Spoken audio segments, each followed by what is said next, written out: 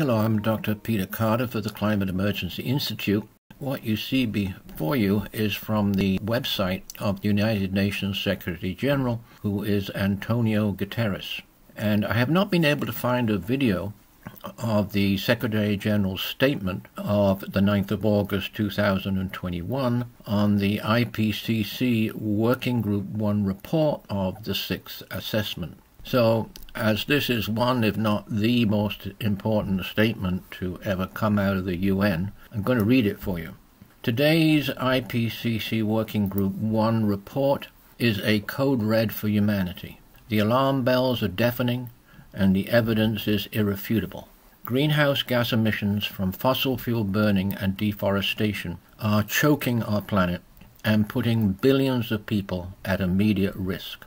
Note that, putting billions of people at immediate risk. Global heating is affecting every region on Earth, with many of the changes becoming irreversible.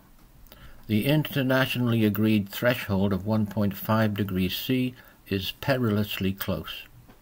We are at imminent risk of hitting 1.5 degrees in the near term.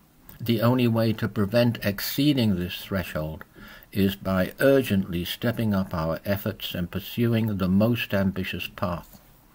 We must act decisively now to keep 1.5 alive. We are already at 1.2 degrees and rising. Warming has accelerated in recent decades.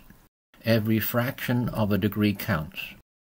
Greenhouse gas concentrations are at record levels, Extreme weather and climate disasters are increasing in frequency and intensity. That is why this year's United Nations Climate Conference in Glasgow is so important. That's called COP26 and will start at the end of this November. The viability of our societies depends on leaders from government, business, and civil society uniting behind policies, actions, and investments that will limit temperature rise to 1.5 degrees C. We owe this to the entire human family, especially the poorest and most vulnerable communities and nations that are the hardest hit despite being least responsible for today's climate emergency. The solutions are clear inclusive and green economies, prosperity, cleaner air, and better health are possible for all if we respond to this crisis with solidarity and courage. All nations, especially the G20 and other major emitters, need to join the Net Zero Emissions Coalition and reinforce their commitments with credible, concrete, and enhanced nationally determined contributions and policies they need to do this before COP26 in Glasgow. We need immediate action on energy. Without deep carbon pollution cuts now, the 1.5 degree C goal will fall quickly out of reach. This report must sound the death knell for coal and fossil fuels before they destroy our planet. There must be no new coal plants built after 2021 this year. OECD countries must phase out existing coal by 2030 and with others following suit by 2040. Countries should also end all new fossil fuel exploration and production and shift fossil fuel subsidies into renewable energy. By 2030, solar and wind capacity should quadruple and renewable energy investments should triple to maintain a net zero trajectory by mid century. Climate impacts will undoubtedly worsen.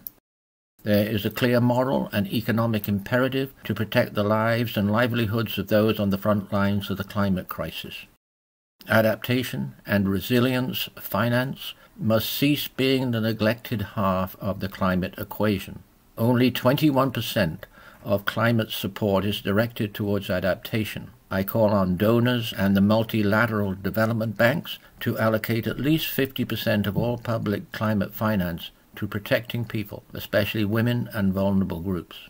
COVID 19 recovery spending must be aligned with the goals of the Paris Agreement and the decade old promise to mobilize $100 billion annually to support mitigation and adaptation in developing countries must be met.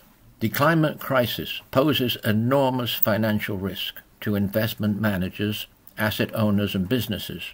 These risks should be measured, disclosed, and mitigated.